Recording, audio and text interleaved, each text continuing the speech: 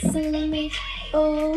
I know what to do 널 สวัสดีครับท่านผู้ชม ล่าสุดสมาชิกวง TWICE มาร้องเพลงลาลิสาของน้องลิซ่าด้วย โดยการร้องผ่านไลฟ์สด แต่ก่อนอื่นขอเปิดด้วยพ่อหนุ่มคนนี้ก่อนเลยแล้วกัน มีใครให้มากกว่านี้อีกไหมครับ เขาบอกว่าเขาสะสมสินค้าของแบรนด์ Celine มามากกว่า 1 ปีแล้ว โดยสาเหตุที่ซื้อแบรนด์นี้ก็เป็นเพราะว่าน้องลิซ่านั่นเอง ที่เป็นตัวแทนระดับโลกให้กับแบรนด์นี้ นี่แค่ 1 ปีนะครับพี่แกซื้อไปเยอะขนาดนี้ ถ้าดูจากถุงรวมกันหมดนี่น่าจะหลักล้านบาทเลยทีเดียว ถ้าทางจะเป็นแฟนคลับตัวจริงเลยแหละนายคนนี้ แถมต้องรวยมากด้วย มีเรื่องราวของเพลงใหม่น้องลิซ่ามาฝากกันด้วยครับ อัปเดตเพิ่มเติม ไปเจอข้อความนี้มารู้สึกว่าเขียนได้ดีมากก็เลยอยากให้ท่านผู้ชมได้ดูกันด้วย เขาเขียนว่าดนตรีนี่สามารถทำลายทุกขอบเขตได้จริง ๆ เข้าถึงได้ทุกอย่าง การร่วมงานกันครั้งนี้จะถือว่าเป็นการบันทึกประวัติศาสตร์เลยก็ว่าได้ ระหว่างศิลปินฝั่งยุโรป ลาตินอเมริกา เอเชีย และก็อเมริกาเหนือ นอกจากนี้ก็ยังเป็นครั้งแรกในประวัติศาสตร์ด้วย ที่ 3 ศิลปินระดับโลกจะมาร่วมงานกับศิลปินเคป๊อป อันนี้ก็หมายถึง DJ Snake ลิซ่า Ozuna แล้วก็ Megan นั่นเอง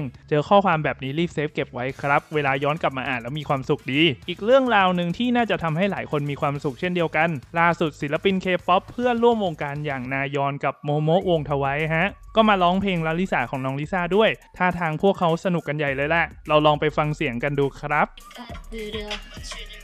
我的名字我忘记我的，我的名字。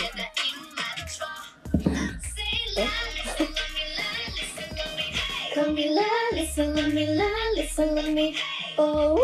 I'm not your aku, the light is in the room. Just say la, listen, let me la, listen, let me. Me. Oh, I know how to do. Is in the room. 아직도 렉걸린데? 셀러브레이티 넥스플릿 그거 아이유 선배님 뭐라고? 셀러브레이티